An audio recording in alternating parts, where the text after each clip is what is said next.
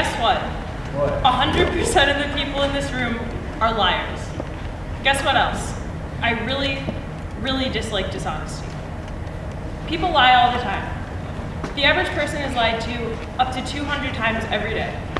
Take away around 8 hours for sleeping, that's about one lie every 4.8 minutes. That's actually ridiculous. To think that so many things that we hear aren't true and that there's no way of knowing what the lies are is crazy to me.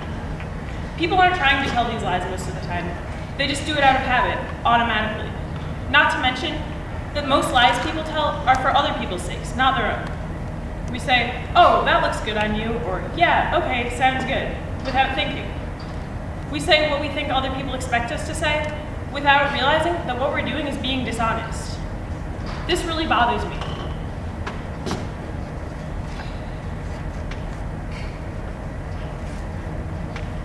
On average, people lie 10 to 20 times every three hours.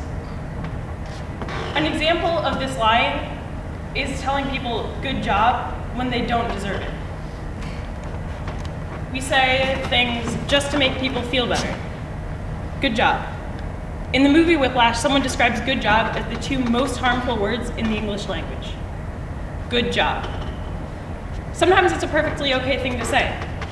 When someone scores 91% on that pre-calc quiz they were worried about, or when we successfully fix something that broke. This is a statement of fact. Hey, you did something right, I'm proud of you. What I don't like is when we say good job, but we mean do better. Am I the only one who's ever tried to do something, performed at a mediocre level, and then received only good job as a review?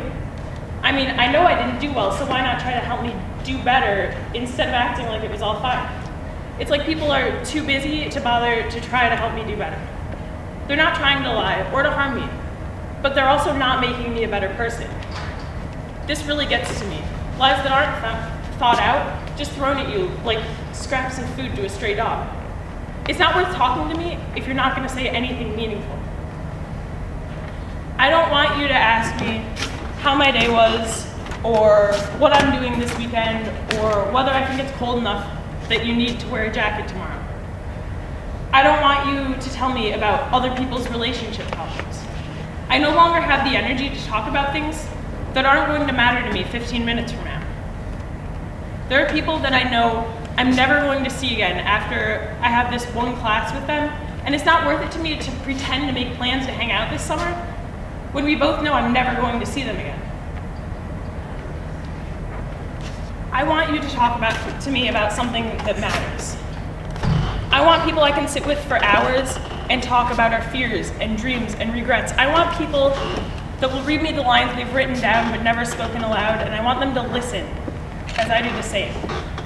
In a world filled with small talk and meaningless chatter, it's so important to me that I have conversations that make me think and feel and see things in new ways. I want people that'll stay up all night with me, not watching movies with empty hearts and minds, but talking about their favorite books and the day their grandma died and the happiest moments of their lives. I want conversations that make me want to change who I am and how I act. I want to talk about things that matter.